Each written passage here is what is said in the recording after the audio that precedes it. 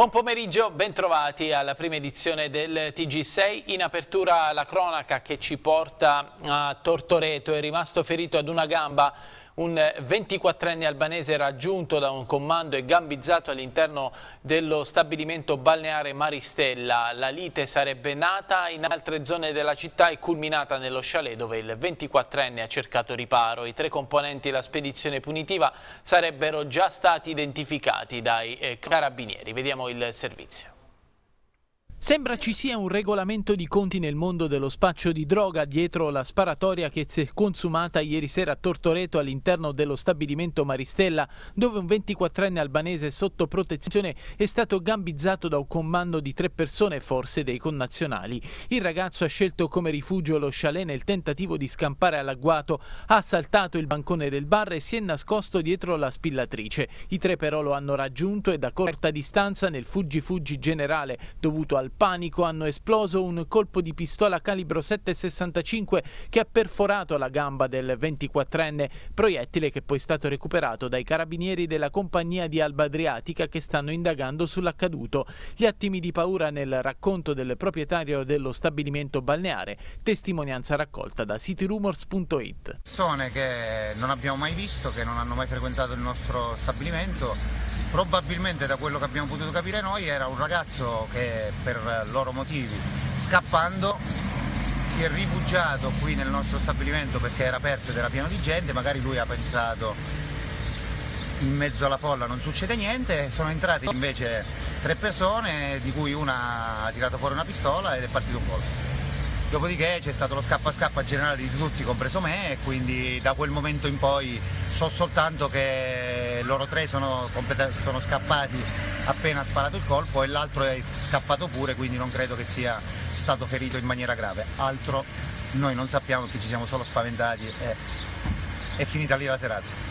Nella sparatoria sembra siano coinvolte quattro persone, tre inseguitrici ed una alla guida della vettura con cui i malviventi si sono dati alla fuga. Il 24enne albanese dapprima scappato a piedi sanguinante per poi fermarsi ad un centinaio di metri e chiedere aiuto prima dell'intervento del 118. Trasportato in ospedale le sue condizioni non destano preoccupazione. È stato già ascoltato dagli inquirenti mentre gli stessi militari sembrano già sulle tracce del comando che ha messo in atto la spedizione punitiva per una contesa nata in altre zone del territorio e solo per caso culminata nello chalet di Tortoreto.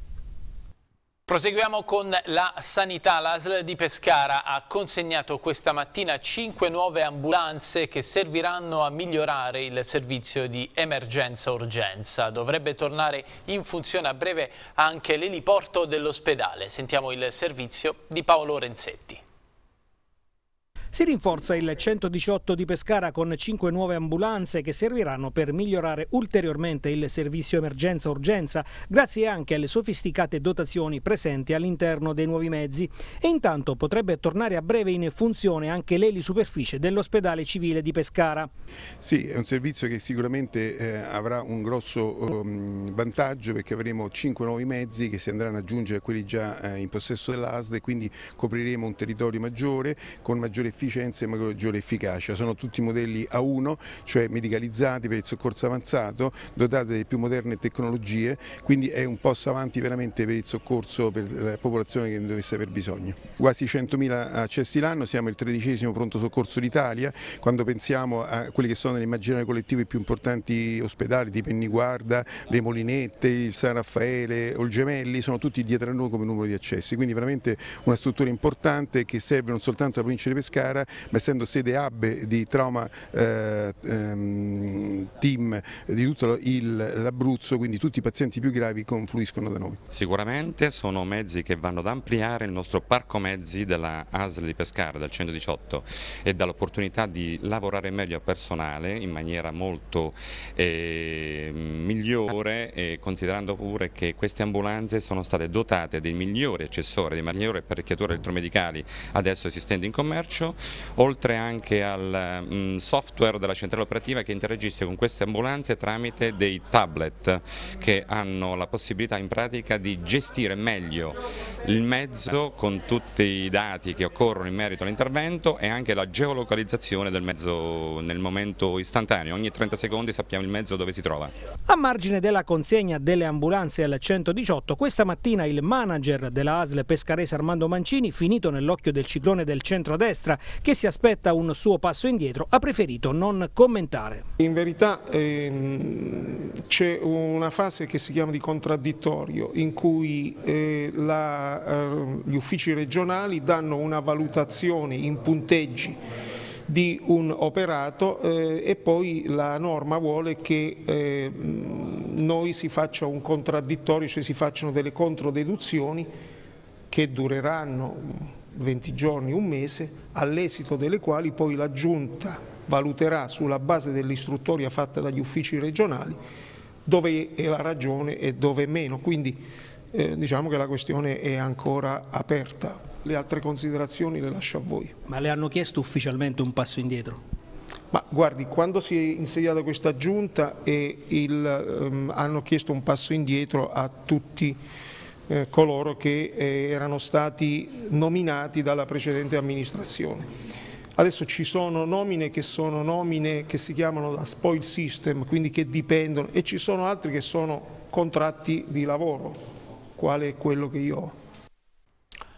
Andiamo avanti, eh, restando sempre nel campo della sanità ci spostiamo in Molise dove chiude per carenza di medici il punto nascite dell'ospedale di Termoli. Il provvedimento è stato firmato dal commissario alla sanità per il Molise Angelo Giustini che ieri sera ha partecipato a un incontro in comune convocato dal sindaco di Termoli Francesco Roberti con oltre 30 amministratori locali e alcuni primari. Il 30 di giugno saranno possibili gli ultimi ricoveri di donne in gravidanza, dal 1 al 7 di luglio posto per gli ultimi nati contaminati, poi le pazienti dovranno decidere a quale ospedale rivolgersi e il servizio potrebbe gravare anche sull'ospedale eh, di Vasto che è molto vicino a Termoli. Allora andiamo a, servire, a sentire insieme il servizio di Fabrizio Occhionero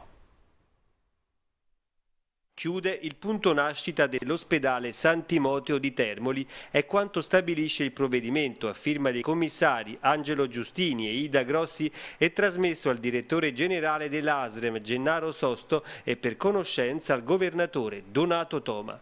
Una decisione nell'aria da tempo ora formalizzata che rappresenta una sconfitta concreta per tutto il Molise e che ancora una volta ha scatenato solo un rimpallo di responsabilità politiche e scarica barile. Alla base del decreto vengono riportati parametri nazionali non rispettati che prevedono almeno 500 parti all'anno, ma anche la carenza ormai cronica di personale dell'unico ospedale rimasto in Basso Molise e i vari tavoli tecnici in cui era stato già affrontato il problema.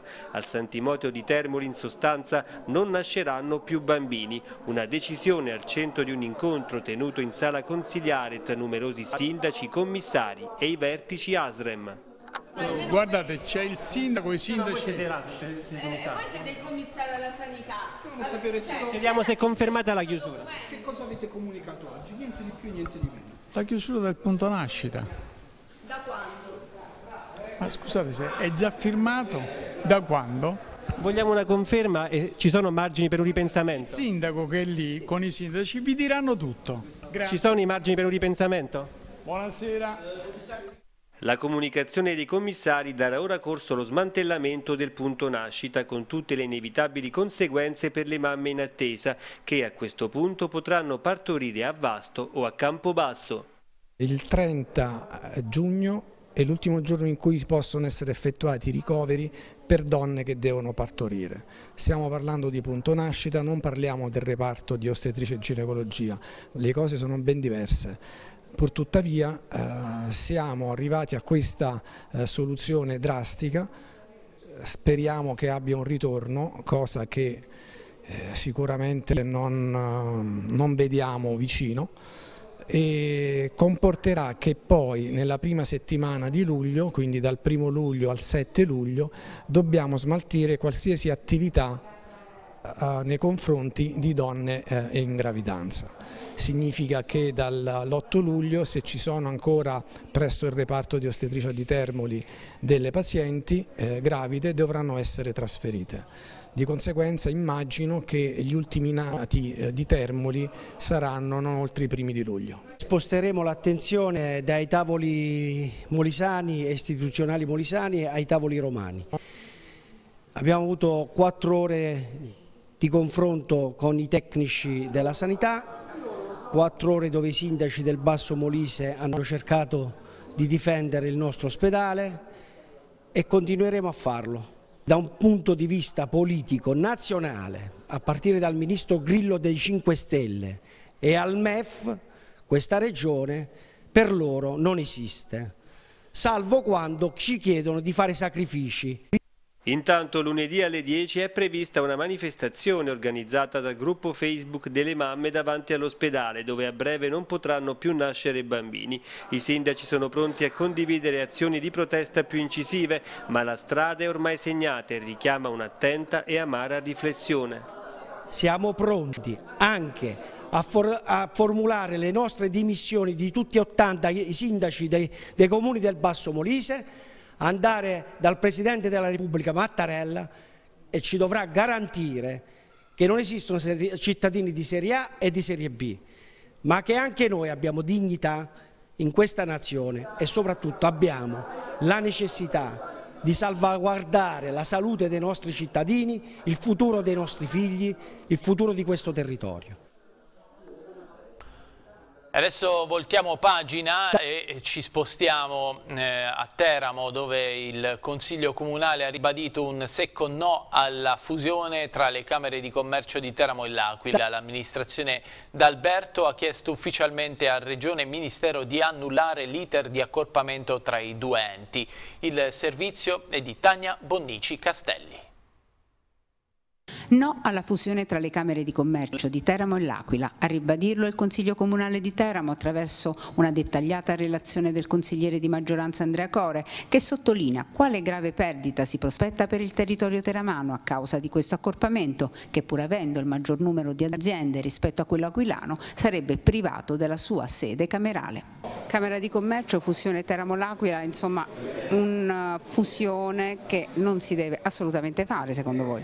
No, assolutamente assolutamente, come Consiglio Comunale siamo pronunciati in senso nettamente contrario rispetto a questa fusione, purtroppo la pronuncia è arrivata solo oggi con, con due anni di, di, ritardo, però ci siamo voluti assumere la responsabilità politica in rappresentanza dell'istituzione e quindi della comunità teramana tutta di ribadire come non possiamo perdere l'ennesimo presidio sul territorio che oggi è rappresentato dalla Camera di Commercio. Questa fusione non ha un senso, una logica né da un punto di vista economico né da un punto di vista storico. Stiamo affrontando una delle crisi economiche economiche peggiori del, dell'ultimo secolo, in un territorio colpito prima dalle calamità del 2009, poi da quelle del 2016, calamità sismica e calamità neve e quindi abbiamo un tessuto produttivo fortemente provato, messo in ginocchio che con difficoltà sta provando a ripartire. Eliminare la Camera di Commercio significherebbe far vivere un senso di abbandono che non è più tollerabile, abbiamo la necessità di salvaguardare questo presidio sul nostro territorio. Questa è la vostra idea, ma chi avrà l'ultima parola?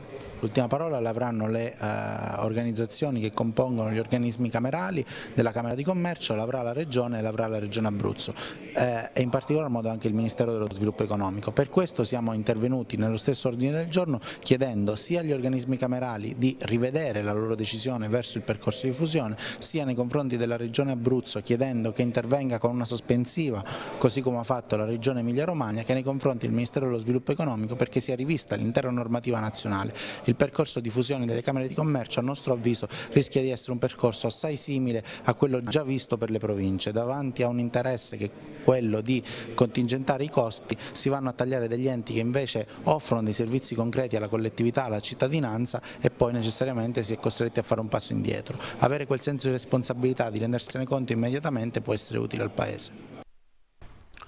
Cambiamo argomento, acque eccellenti a Fossa Cesia ma eh, problemi di parcheggi che scarseggiano a causa della realizzazione della Via Verde. Dunque da un lato le notizie positive certificate dall'Arta, dall'altra parte invece le problematiche ancora una volta legate ai parcheggi nella stagione estiva. Vediamo il servizio. Acque eccellenti, nuovi stabilimenti e concessioni. La Via Verde in via di completamento, un crescente afflusso sia regionale che oltre confine. Fossa Cesia Gongola, pregustando una grande stagione balneare, forte dei risultati delle analisi dell'ARTA eseguiti lo scorso 12 giugno che confermano come sia eccellente la qualità delle acque marine del litorale di Fossa Cesia Marina.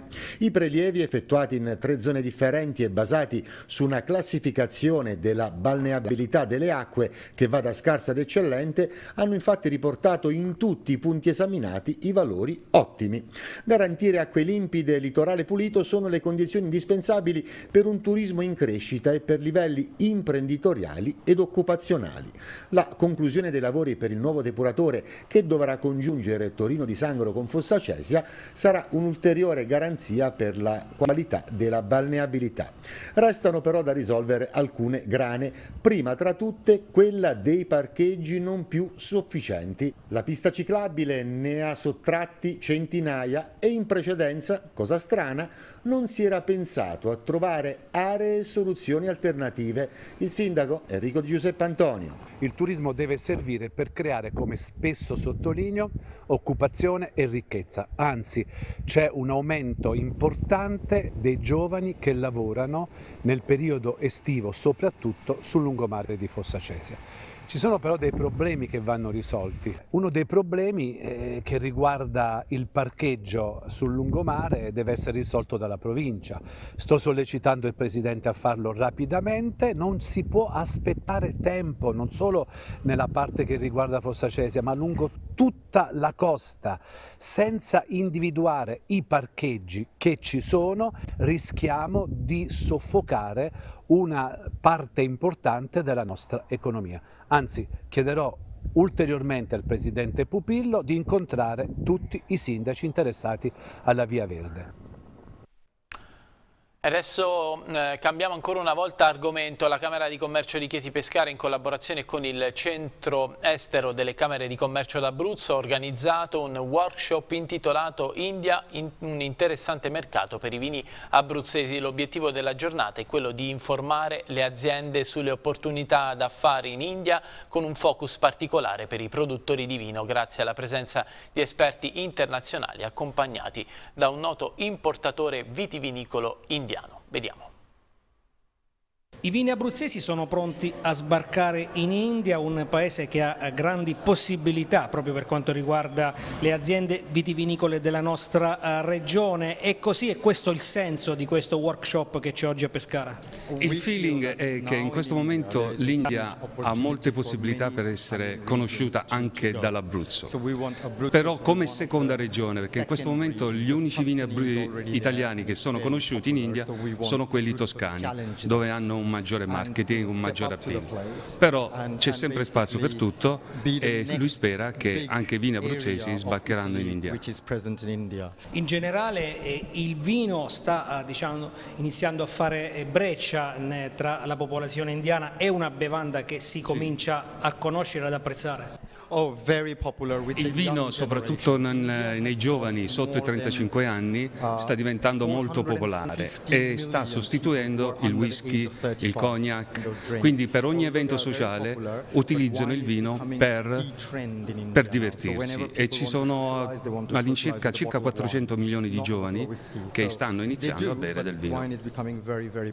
È veramente quello asiatico il mercato in cui eh, i nostri prodotti possono davvero fare la differenza? Beh sì, questo, questo, è noto, un mercato assolutamente in evoluzione, noi nei primi anni dei progetti OCM abbiamo puntato molto sui paesi del Nord America, eh, adesso stiamo puntando su questi asiatici, crediamo che la risposta ci sarà e speriamo insomma, che ci sia valore aggiunto vero per, per le nostre imprese. Parata di grandi stelle nazionali ed internazionali al Città Sant'Angelo Village Outlet che dal 13 eh, luglio al 15 agosto ha organizzato il Live Festival 3. Vediamo. DJ Time, Giusy Ferreri e Alvaro Soler sono i tre eventi clou del Live Festival 3 organizzato dal Città Sant'Angelo Outlet Village dal 13 luglio al 15 di agosto. Che prevede concerti live con grandi artisti nazionali ed internazionali ed eventi a tema, oltre a spettacoli live nel borgo e nella food court, prevedendo per le serate degli eventi e l'apertura dei negozi sino alle ore 24. Musica, spettacoli e shopping, dunque, seguendo la vocazione dell'outlet che si conferma sempre di più un centro di intrattenimento e soprattutto un aggregatore turistico. Si parte in occasione del weekend di sabato 13 e domenica 14 luglio con un'estate italiana che partirà alle ore 10 con il raduno d'auto d'epoca e dalle 18.30 con l'evento vero e proprio dedicato all'arte degli anni 60, 70 e 80.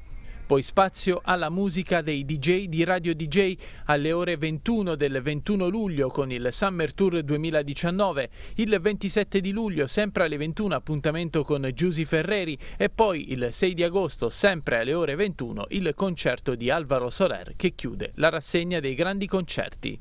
Infine, il 15 di agosto, a partire dalle 18.30, ci sarà la grande festa di Ferragosto con il Cocomero Party. Il turismo va, va valorizzato e noi le, le, dimensioni, la nostra disponibilità e gli spazi che abbiamo a disposizione ecco, ci consentono di poter amplificare questo argomento.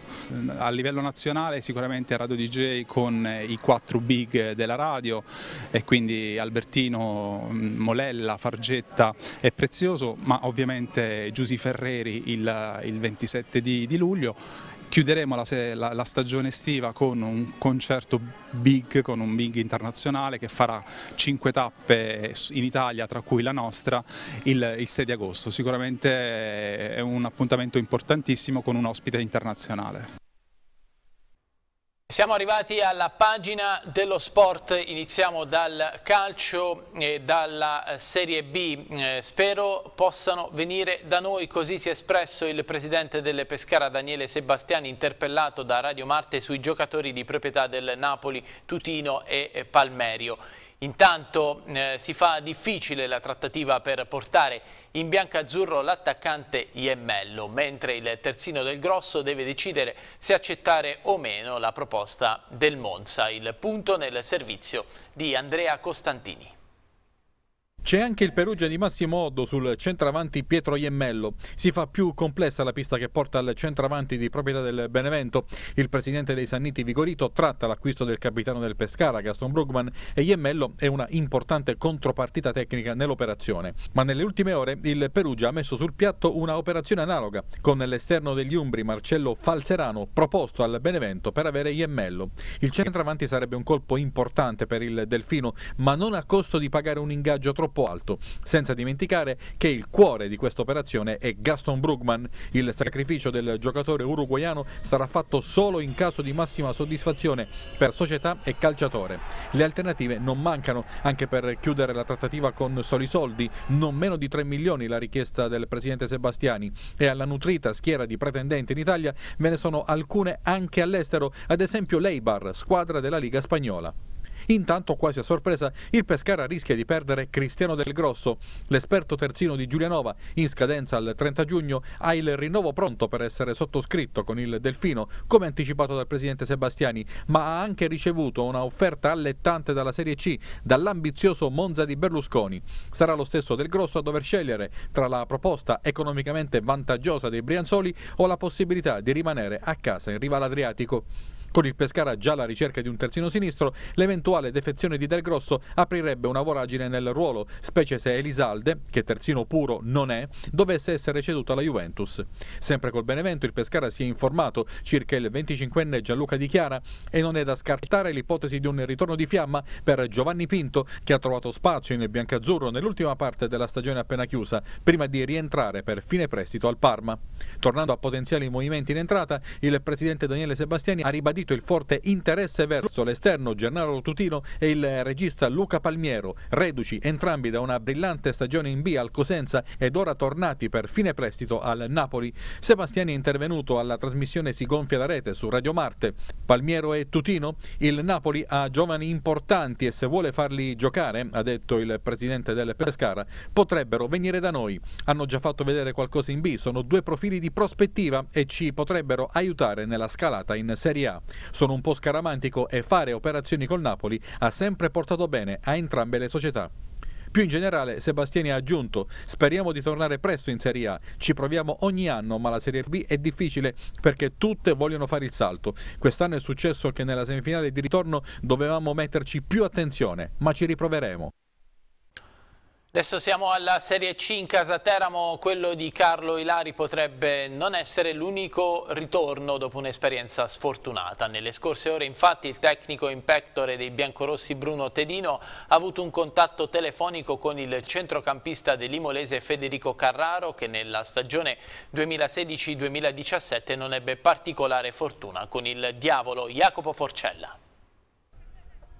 Federico Carraro è il nome nuovo in Casa Teramo, il centrocampista dell'Imolese che ha appena salutato Alessio Dionisi, destinazione Venezia, potrebbe essere il secondo ritorno dopo quello di Carlo Ilari che tra domani e l'inizio della prossima settimana dovrebbe firmare il contratto con la società di Franco Iachini. Carraro è l'idea principale stanti le difficoltà di arrivare ad Antonio Vacca del Parma. L'ingaggio dell'ex Casertana è elevato, la quadratura con i giallo-blu non è semplice da trovare ed ecco che, magari anche attraverso l'indicazione del neo DS lagunare Fabio Lu, Lupo, Tedino ha chiamato personalmente il ragazzo per informarlo della volontà da parte del Teramo di riportarlo nella piazza in cui giocò poco e con scarsi risultati nella stagione 2016-2017 due reti, uno in campionato col Forlì e uno in Coppa Italia con l'Alessandria, ma in una stagione travagliata con tantissimi cambi di guida tecnica che non consentirono a Carraro di esprimere il valore, poi rivisto nuovamente dopo il trasferimento all'Imolese l'anno successivo, nel quale il centrocampista ripartì da un gradino più basso, la Serie D, Girone D.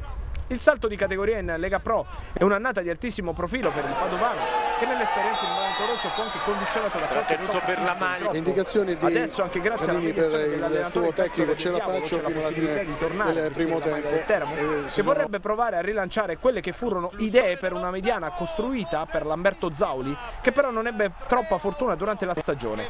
Carraro, Ilari con Peterman che veniva dal Palermo dovevano rappresentare il blocco centrale del campo che fu corretto in corso d'opera con l'arrivo di Mirko Spighi preso dalla spalla a gennaio.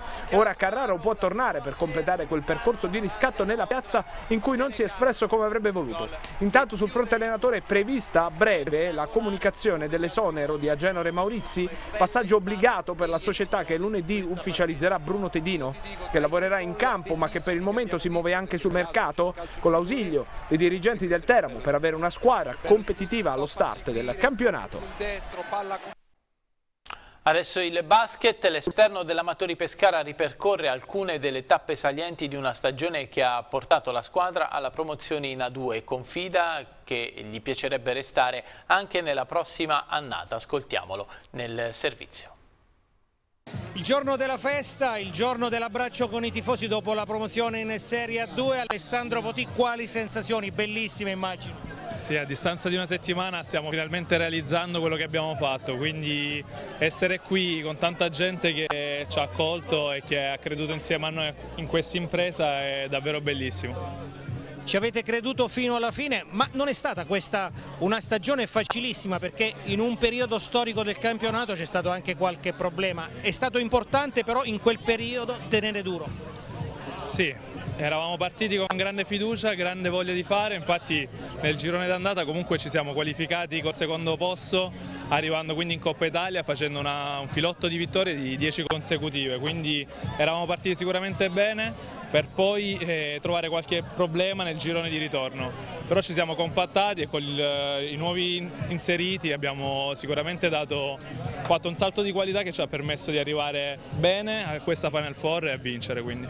L'arrivo alla Final Four, eh, la vittoria con eh, Salerno, la svolta della stagione, in quella parte della stagione è stato il successo ottenuto in una delle due gare giocate in campagna.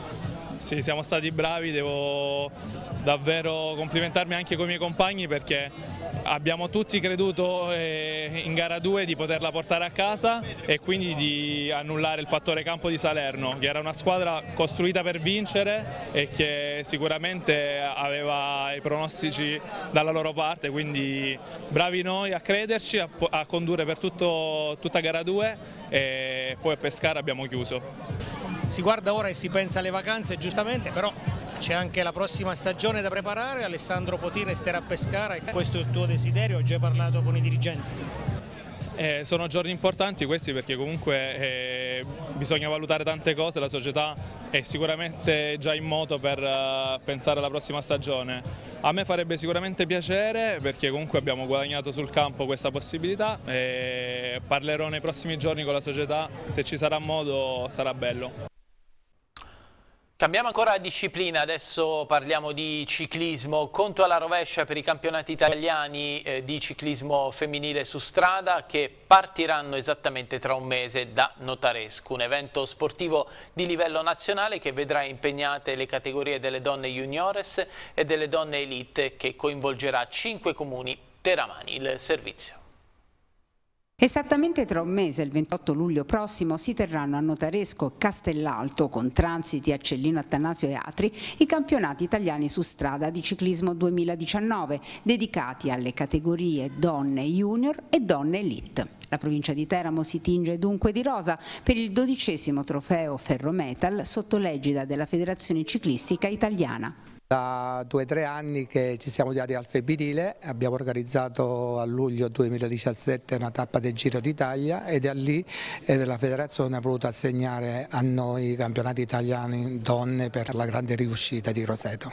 Come si svolgerà questa manifestazione? La manifestazione si svolgeranno le partenze a Notaresco, mentre gli arrivi saranno a Castelnuovo.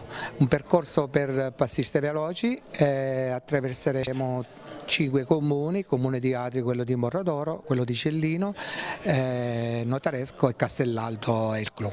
Quante donne juniores e quante donne elite? Avremo circa 250 atlete, 110 elite e un mm, centinaio di juniores. Campionessa europea in carica di ciclismo femminile su strada è Marta Bastianelli, laziale di nascita ma ormai teramana e abruzzese di adozione. Campionessa europea in carica, ma che cosa ha vinto? Nel 2007 è un campionato del mondo, quest'anno sette vittorie stagionali tra cui una delle gare più importanti del, della visione diciamo, del nord che sarebbe il Giro delle Fiandre e nulla, ci aspettiamo anche una maglietta tricolore ma comunque mh, sarà penso e spero una bellissima manifestazione quella del 28 luglio che si svolgerà nel comune di Notaresco e Castelnuovo e quindi mi auguro appunto che possa essere poi un qualcosa di emozionante. Quando hai iniziato a pedalare? Ho iniziato all'età di 8 anni, adesso ne ho 32 quindi non, non faccio i conti ma più o meno diciamo che sono un po' di anni che pedalo. È iniziato così il countdown per la corsa più importante nel calendario femminile di ciclismo su strada, quello che vale l'ambita maglia con i colori della bandiera italiana e che partirà da Notaresco. Notaresco, capitale del ciclismo femminile, un orgoglio per la provincia di Teramo e per l'Abruzzo. Sì, ecco, è una provincia che si tinge di rosa, torniamo con un campionato nazionale donne, ecco, nel nostro paese non solo perché toccherà Castellalto, toccherà Cellino, ecco, la nostra provincia è bello perché abbiamo in casa una pluri premiata la Bastianelli e proprio ecco, a casa sua ecco, parte questo giro che che oramai ecco, ha un'importanza nazionale ed è bello perché ho detto stiamo lavorando da un mese perché chi verrà nel nostro territorio percepirà meno buche possibile. Ecco, questo è un messaggio che io do perché riqualifichiamo i territori perché vogliamo far capire a chi viene che trova un paese bello, ecco, la percezione del decoro e della bellezza di un territorio. E a proposito di ciclismo vi ricordo l'appuntamento di questa sera alle 21 con la trasmissione Velo in cui si parlerà anche dei eh, campionati italiani di ciclismo femminile su strada ma non solo con il patron Luciano Rabottini e Jacopo Forcella alla conduzione. Eh, è tutto per quanto riguarda questa edizione del telegiornale, il prossimo aggiornamento è alle ore 19. Buona giornata.